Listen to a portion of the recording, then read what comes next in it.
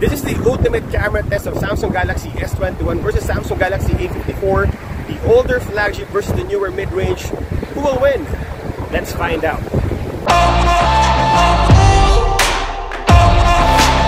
First, let's talk about the colors and saturation of both phones. There's a gap of 2 years but there's also a difference in value because Samsung Galaxy S21 is a flagship phone and Samsung Galaxy A54 is a mid-range Samsung phone.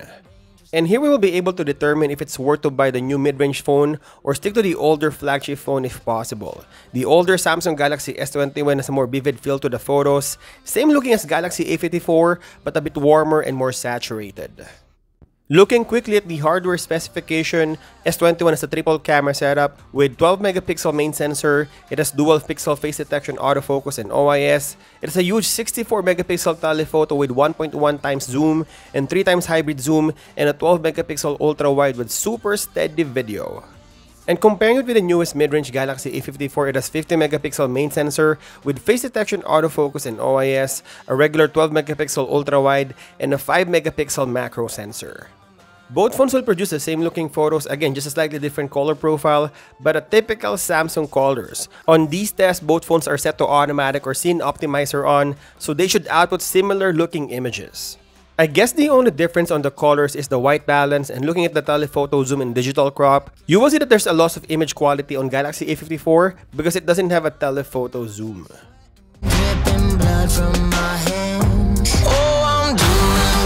In terms of resolution, the Samsung Galaxy A54 can max out at UHD 30 FPS, while the older Samsung Galaxy S21 can max out at 8K 24 FPS. This is the super steady mode and both phones can shoot full HD 30 FPS and the stabilization is pretty awesome.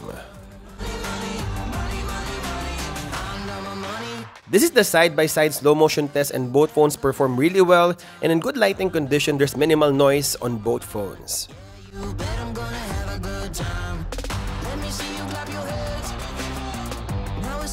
This is the super slow motion and both phones can freeze time.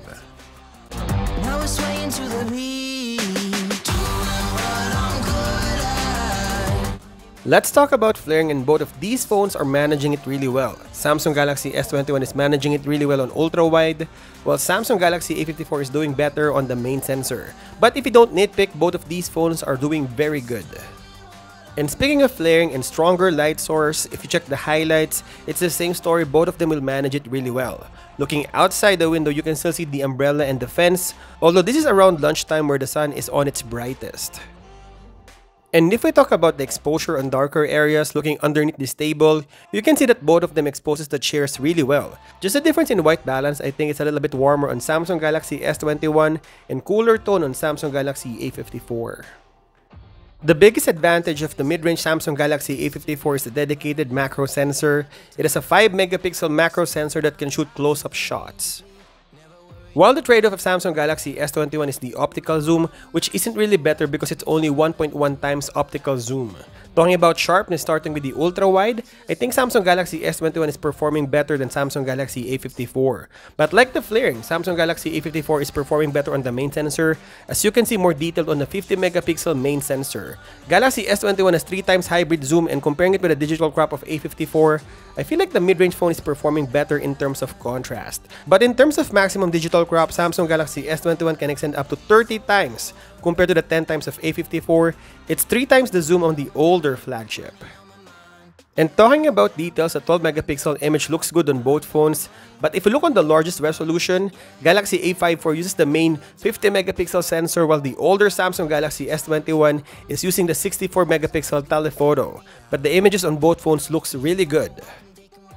Let's dive in into the video test. First, I will show you the raw footages of both phones in 4K 30 FPS and then the video stabilization test.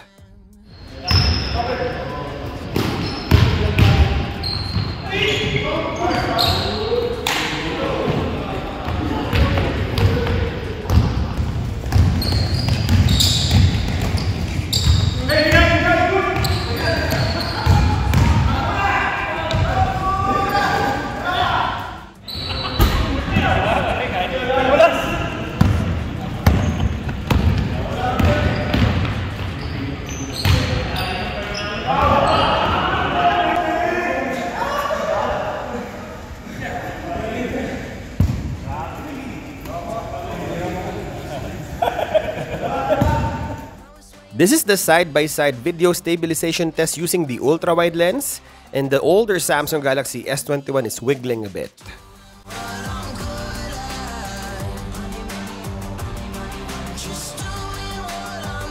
And this is the video stabilization of the main sensor and still, Samsung Galaxy S21 is jerking a bit, but I'm totally just nitpicking.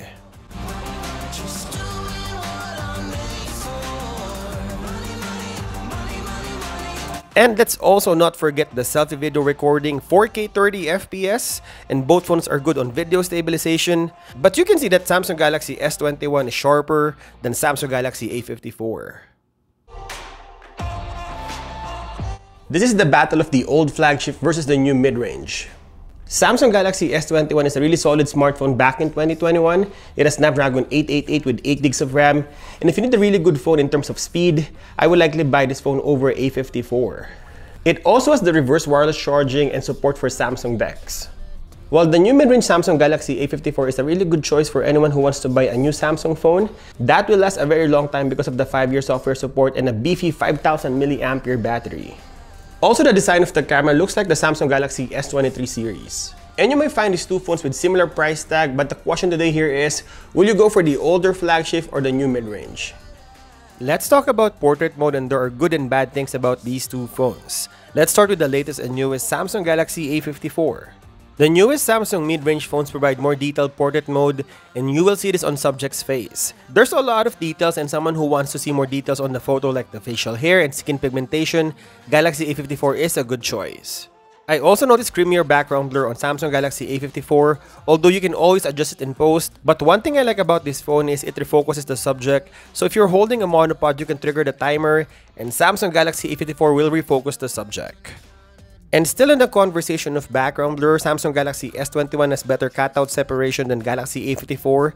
You will see this on the shoulders and the hair. S21 is better.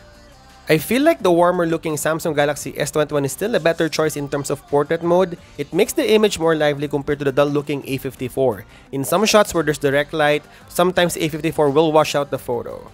It also gives a little bit of filter on the face, so it looks nicer and generally the colors are brighter and more saturated on the flagship S21. S21 also has a better contrast and the mid-range Galaxy A54 is brighter. You could see this on the hair on the subject. On the selfie camera, I think Galaxy A54 is a little bit warmer than S21, but both phones can shoot wide and ultra-wide portrait for group shots. Night shot is a little bit inconsistent on both phones. On some shots, Galaxy S21 is brighter than Galaxy A54 or sometimes vice versa. Like on this image, you would see that Galaxy A54 exposes the scene better. You can still see the fence and the grass. But switching to another area, it's totally different look. Galaxy S21 is brighter and exposes the house better. I think the newer Samsung phones now are implementing darker night shots, but in return will have more details and better colors. While the older Samsung phones will try to brighten up the image so you can see the scene better, sometimes it look artificial but it works if you need to capture more information on darker environment. So I guess it's just a question of do you want a brighter night shots or a better contrast and colored night shots. And since we're shooting night shots, let's check the low-light video capability of both phones. And the older Samsung Galaxy S21, although flagship is noisier than Samsung Galaxy A54. Take a look the time. Spent my life living dangerously, never worried how I'm getting by. I'm out here working, trying to do what I can. So this is the ultimate camera comparison video of Samsung Galaxy S21 versus Samsung Galaxy A54. Two great value phones this year if you need an 8K video recording, sharper selfie video, good looking portrait mode, and the better performing Snapdragon 888, I would go with Samsung Galaxy S21. But if you like to shoot macro, a bit better video stabilization, natural looking portrait mode, and better low light video performance, also including longer updates and better battery life, I would go with the newest mid-range Samsung Galaxy A54. And there you go, hope you enjoyed this video. I'll continue to compare these two phones in our channel, maybe the next Samsung Galaxy S23 Fan Edition, so stay tuned. And as always, thank you guys for watching and I'll see you in the next one.